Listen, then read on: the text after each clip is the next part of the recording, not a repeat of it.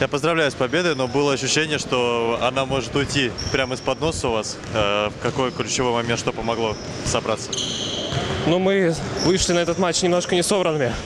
Немножко так лениво играли в защите, и мы, хотим, мы больше рассчитывали на индивидуальные действия. В итоге стали больше двигать мяч, и соперник распался, как, как Советский Союз.